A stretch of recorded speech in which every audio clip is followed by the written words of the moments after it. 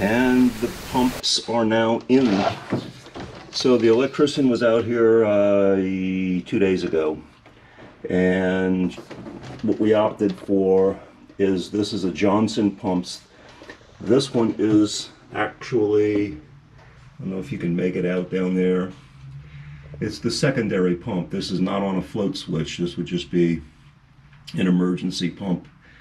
You know, if we're getting overwhelmed, so I guess it's a what I call the pucker pump. If you got it and you know cycle this thing on from the helm switch, you got trouble on your hands. Anyway, I opted to go from 1600 gallons per hour on this one to 2000 gallons per hour since um, the hose size was still one and an eighth um, uh, diameter. So there was no real change that needed to be made in the hose. Okay, so let's see if I can get this down here. And the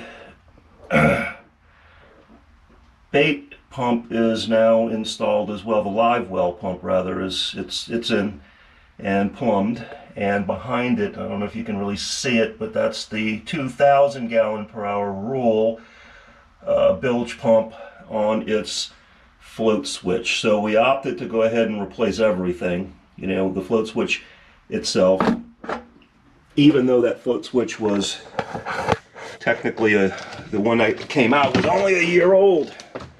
But if you're changing, you know, you're going to get down in the bilge, change everything out, all the pumps, do it all. No sense in recycling.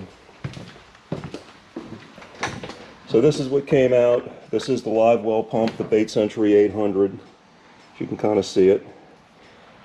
Not bad condition. I've had this boat for six years. This was the pump that was in the boat when I bought it. Um, functions perfectly. I mean, we didn't really have any problem with it. And then this is the secondary pump, the Johnson's pump, the 1600 gallon per hour. I think you kind of see that. Also in fairly good condition, although I did find, you know, if I plug the boat, put the plug in, uh, disable the float switch or put a weight on it so it can't lift and then just pour water, fresh water into the bilge to check this pump. I always found that it just seemed to be weak. For whatever reason, I was never really impressed with how much water flow it pushed out. So this was definitely on my mind to get a new one.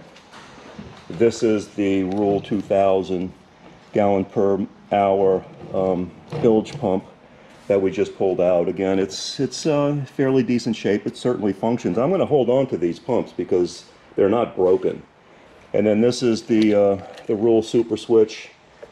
It's uh, I just put this in myself about a year ago. It was uh, just fine, nothing wrong with it. I'm going to keep this one as well. So what we also did was the batteries. So these are the three Group 31 AGMs. They're interstate batteries. Got a pretty decent deal on these two here, and then this is another one, Interstate Group 31. So they were all just installed. Um, we took some time to use my Dremel tool on these uh, connectors and got all the old oxidation off. They've been coated with a good marine dielectric, dielectric grease, so they shouldn't have any issues. And then in here, kind of there, that's the new a negative bus bar that I had her install and, and change in some of the wires as well. Um, last year, if you remember from the first video, the switch panel is all new. All the wiring and everything in that. We had that done last summer. Um, uh, she did a great job on that. Had no problems, no issues with it. But we never got to the negative bus bar. Um, just time constraints and so forth. But came back now and did it um, two days ago. So that's all in. And you can see the batteries are all green, green, green, green. So I have to put these little tackle boxes back in their holes. They take up a lot of room once they're installed, you know, inside, inside. They just take up a lot of room. I, I really wish this is something that Contender had not done. I don't have any use for them. I've criticized this before because you know you've got rod holders here. If you got rods in front of them, in order to be able to get to the tackle box and have any functional use out of them, you have to remove the rod, which is just stupid. All right, well, there's nothing I can do about that. This is the last thing I wanted to show. So this is the bus bar, the negative bus bar that came out. And the funny thing is, is, is just look at how much oxidation, I guess even corrosion, is on this. So this is a lesson. You know, if you're in a really salty environment, the Caribbean, the Bahamas, South Florida, whatever, you got your boat outside, it's on a lift constantly. This is what the, you know the elements are doing to you gradually over the years. So the one that went in to replace this, I used a single 20 20 gang instead of these two 10s. I don't know why they even did that. But look, these two, this one here and this one here, the wires just pulled straight out. It's like, come on, contender, you didn't even get the crimp in. And when the wires came out, they were absolutely clean, completely clean and shiny. So I don't know, but the other ones had to be cut because these screws were so frozen on, you just couldn't, you can even see how deformed the screw heads got. So they just had to cut the wires and, and redo them. This part, not at all impressed with that, but I can guarantee you we don't have that problem now. So that's basically the size of it. Um, gonna get my little tackle boxes back in and get her all zipped up, get her back into the water. Want to verify that my pumps are pumping as they should. No leaks. Um, you know, when you turn on the live well and start pumping water, I want to make sure it's not leaking in there.